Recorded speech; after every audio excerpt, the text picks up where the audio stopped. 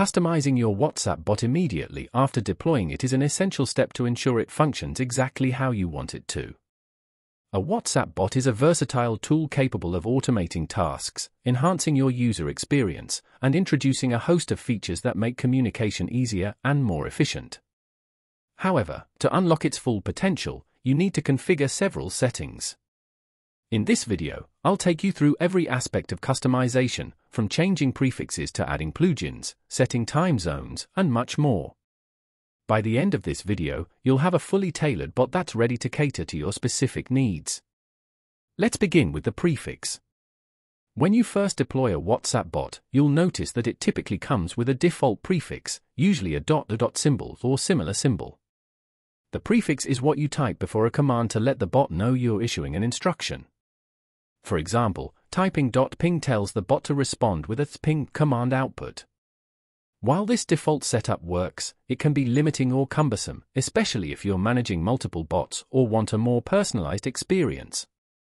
The good news is that you can change this prefix or even remove it entirely. This is done using the setvar prefix equals command of your choice. For instance, if you want to keep the prefix as a dot, you would type setvar prefix equals dot. If you'd prefer a word as your prefix, say a Levanter, you would use set var prefix equals Levanter. This change would mean that all commands must now begin with Levanter instead of a dot. If you want multiple prefixes, you can use the command set var prefix equals caret, comma forward slash. This flexibility allows you to execute commands with any of these symbols as the prefix. Alternatively, if you want to eliminate prefixes entirely and execute commands directly, use set var prefix equals null. This is my preferred setting because it simplifies the process, there's no need to remember or type a specific prefix before issuing a command. Once the prefix is set, the next critical adjustment is the time zone. Bots are usually configured to a default time zone that might not align with your location. This can lead to confusion, especially if the bot's timestamps don't match your local time. Adjusting the time zone ensures that all time-dependent features, such as scheduled messages or logs, operate correctly. To set your time zone, use the command set var time zone equals followed by your region's time zone. For example, if you're in Nairobi, you type set var time zone equals Africa and Nairobi. If you're in Mumbai, the command would be set var time zone equals Asia in Mumbai. After setting the time zone, you can confirm the change by typing the menu command. The bot's header should now display the current time in your specified region. Next, let's talk about plugins. Your bot likely comes with an impressive array of built-in features, often over 200, but the ability to add custom plugins makes it even more powerful. Plugins are essentially add-ons that expand the bot's capabilities. Whether you want advanced moderation tools, fun commands for group chats, or integrations with other platforms, plugins can help you achieve this. To install the plugin, use the plugin command followed by the URL of the plugin you wish to add. For example, you can get a plugin that provides a way for seeing active members in a WhatsApp group, simply copy its URL and type plugin URL. The bot will automatically download and integrate the plugin into its system. This customization option allows you to tailor the bot to your specific needs and preferences. Another feature worth customizing is the anti-delete setting. This functionality lets you recover messages or media that others delete. It's particularly useful in group chats, where deleted messages might contain important information. You can configure this feature in four ways. P sends deleted messages to your private chat or sudo account. G sends deleted messages to the group chat where they were originally deleted. JID sends deleted messages to a specific chat of your choice. Off disables the anti-delete feature entirely. For example, if you want deleted messages to appear in your private chat, type setvar anti-delete equals p.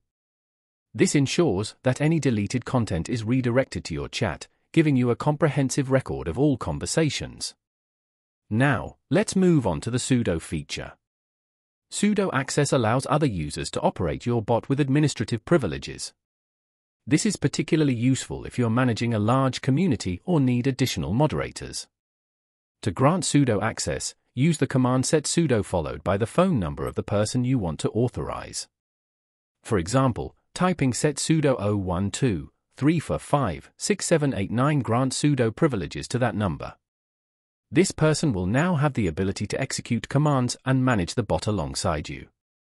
Another important setting is whether to operate the bot in private or public mode. By default, most bots are set to private mode, meaning only the owner can use them. However, if you want other people to interact with the bot, you can enable public mode. To do this, use the command Zushi followed by the specific command you want to make public. For example, typing Zushi ping allows anyone to use the ping command. Public mode is a fantastic feature for group chats or communities, as it enables members to interact with the bot directly. However, it's essential to use this feature responsibly to prevent misuse. You might want to limit public commands to non-sensitive actions, such as games or fun interactions, while keeping administrative tasks private. In addition to these core settings, there are numerous other ways to customize your bot. Remember to always reboot your bot after making any changes. To do this, use the command reboot. This allows for the integration of the new change to take effect swiftly. The possibilities are virtually endless, and the more you experiment, the more you'll discover. In case you want me to make a tutorial on the remaining settings you should change. Let me know in the comment section. As you continue customizing your bot, it's important to stay updated. Developers frequently release updates that introduce new features, fix bugs, and enhance performance. To check for updates, use the command update. Regularly checking for updates ensures that your bot remains functional and secure. If you're new to WhatsApp bots, this might feel overwhelming, but don't worry, you don't need to configure everything at once. Start with the basics, such as changing the prefix and setting the time zone, then gradually explore more advanced features like plugins and sudo access. Deploying and customizing a WhatsApp bot is an exciting journey. It not only enhances your messaging experience but also introduces you to the fascinating world of automation. I hope this video has provided you with valuable insights into how to customize your WhatsApp bot for maximum efficiency and personalization. Remember, these settings and features are just the beginning. The true power of a WhatsApp bot lies in its adaptability, allowing you to tailor it to your exact needs. If you enjoyed this video, give it a thumbs up, share it with your friends, and subscribe to my channel for more in-depth tutorials and tech tips like this one. Make sure to ring the notification bell so you never miss an update. I also encourage you to watch the next videos on the right side of your screen. They dive deep into the top features of WhatsApp bots that you should start using, showcasing their incredible potential. If this video amazed you, I'm confident they will blow your mind even more. See you there.